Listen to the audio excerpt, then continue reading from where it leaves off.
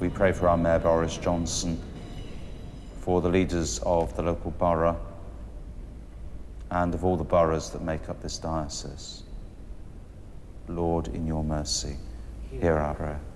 God of truth, whose wisdom set her table and invited us to eat the bread and drink the wine of the kingdom, help us to lay aside all foolishness and to live and walk in the way of insight, that we may come with Gregory and Macrina to the eternal feast of heaven.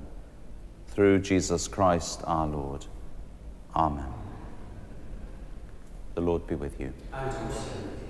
How many this morning? There were two. No, you. Well, Roger. Well, I counted in, so there were three of us.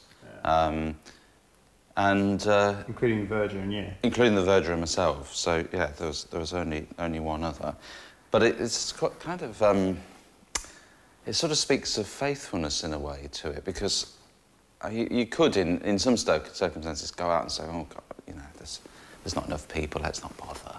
Let's go and have a coffee, you know, and. and if, you, if you're thinking of it in those terms, you know, of your of your audience and Yeah. the kind of resources that you put into it, Yeah. it's it sort of it sort of seems a bit Yeah. mad.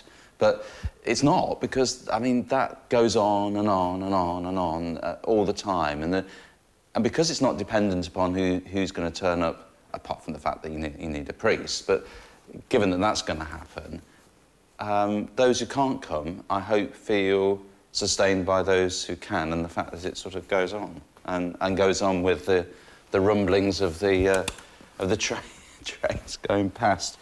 And then I could, I could hear the sort of start-up noise from, um, from the stalls on the Borough Market, because they seem to have increasing amount. You have to have music along with buying your uh, chorizo sausage or something.